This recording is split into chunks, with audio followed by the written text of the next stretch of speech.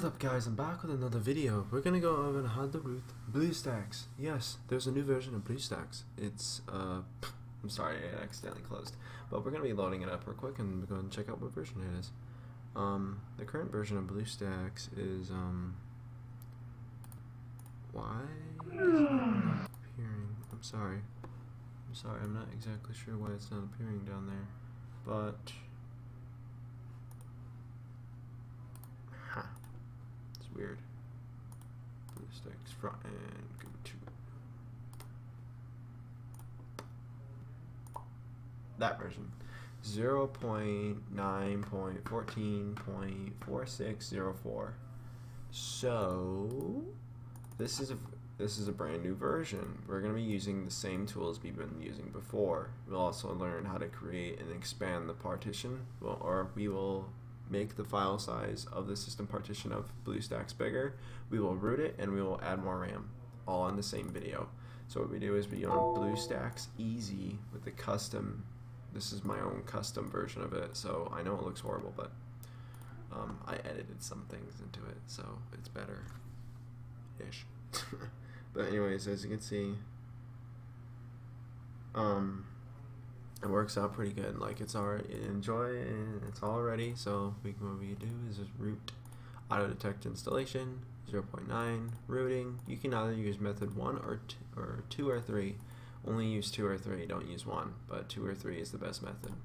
Now we press proceed. It will close BlueStacks and just let it go, and it will finish it off for you. So we'll just wait.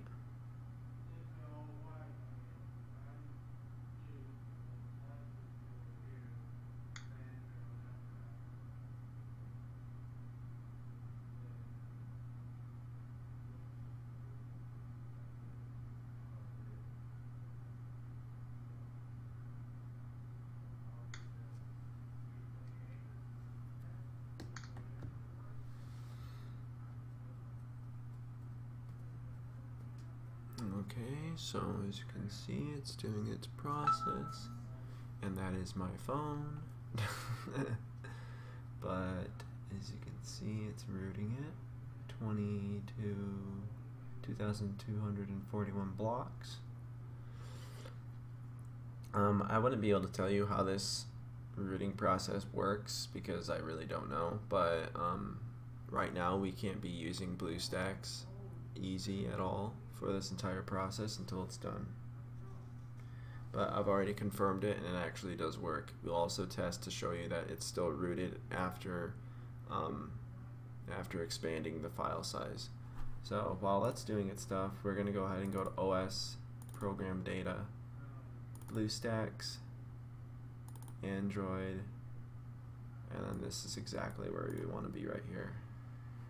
So basically we're going to leave this folder open. If you don't know how to show hidden files and folders, all you're going to do is click this, show, it should show hidden, there we go, show hidden files and folders, click on that button, click apply, okay, there you go, you can actually see program data, it's literally right there.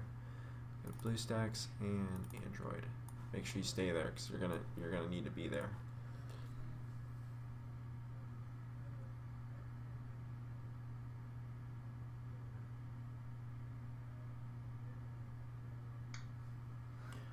Okay, let's see what's going on. Closing console and what is the rooting state?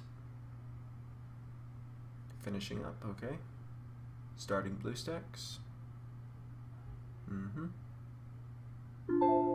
And uh, it looks like line two, two, two, two, two, okay. It looks like okay. It looks like it's been finished. There was an error with um, BlueStacks, so I'm, I'm not exactly too worried about it. I'll send the error to the developer of the of the guy who roots this thing. But as we can go on, click OK, OK, click the home button, click OK. I'm sorry, it's really laggy. Maybe it's because there's not enough RAM. But we're going to go ahead and click Agree, OK, Verify Root. Remember Forever allow, and it's been successfully rooted.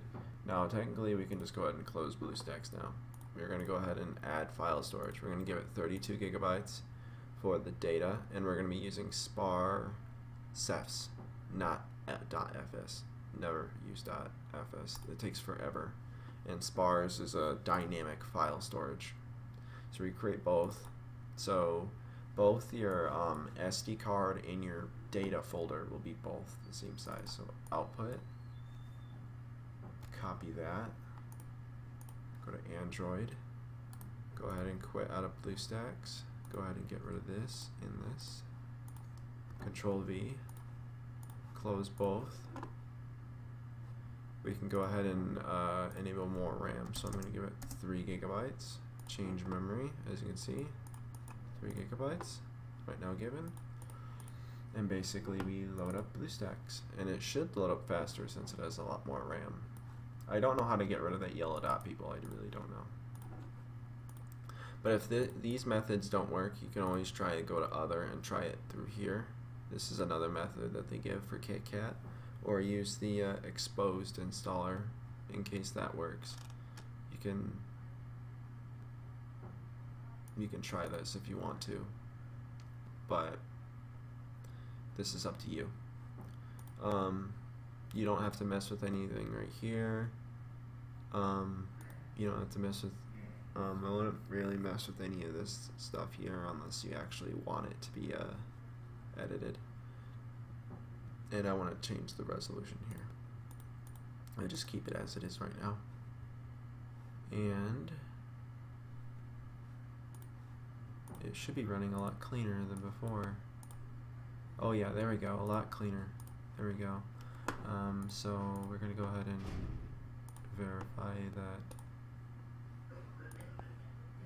it's still rooted and then we'll show you how big the file size is. It should be about 32 gigabytes. Verifying root. Remember? Allow. There you go. And it's been successfully rooted. Now the last step is to um, check to make sure that there is a lot of storage space. So we go to advanced settings, go to storage, go to, there we go, 31 gigabytes, 31 gigabytes, and you get full, you get a crap load of storage. but anyways guys, hopefully this video is very useful for you guys. I'm sorry it's lagging, but it's mainly because I'm I'm running on a lot of processing right now, so that's why it's using a lot of memory. I will see you guys later. Hopefully this was helpful, and I'll catch you guys on the next one. Goodbye.